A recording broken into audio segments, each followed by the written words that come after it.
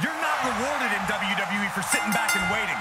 This superstar did things on their own terms, and that's why they're the champ. That hard work and determination certainly has paid off for them, Corey, but the challenger has put in that same effort. It'll be a close contest. Lariat! Oh, launching himself in the ropes.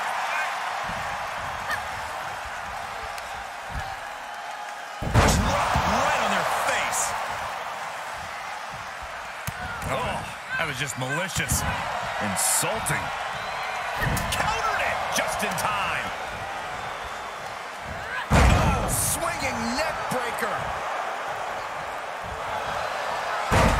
Uh-oh, there's a submission on the way.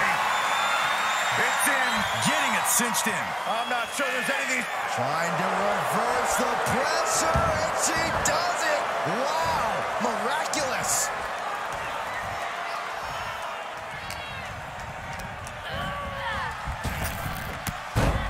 There's press and... Lou Thesz press! Oh, straight forearm.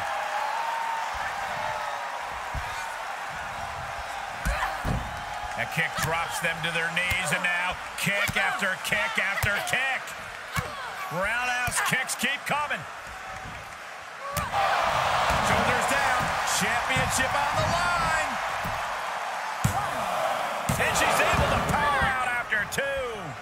Not going to allow things to end this early. Boom, right to the body. Impressive reversal there. Oh, nice takedown. They're gonna lock it in. Bell lock. The little bell lock is in. The submission is locked in deep.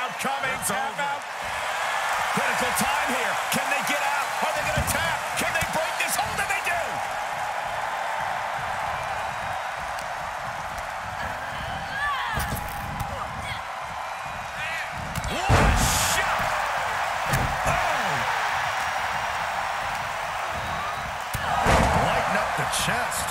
And the pressure up. Up high. Oh, she misses the mark. Huge boot. Oh, force to the back of the neck. Oh, it is aggression, just oh. pure brutality. Come on, easy. Evading offense. Places her right in the corner. Uh-oh. Face full of turnbuckle. Oh, well scouted. And responds with a counter of their own. And well-timed maneuver there. Reciprocating the initial reversal. Unbelievable athleticism. The effects of this match are showing on the champ. Not a bad... Going for it. Looking for the LeBell lock. An uncanny showing of power.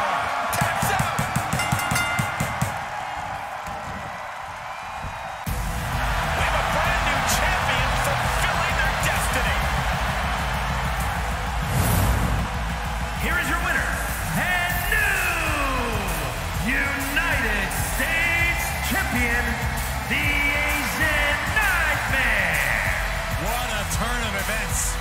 One reign ends and another begins. The now former champion obviously not happy with this outcome. I did not think a title change was in the cards here tonight.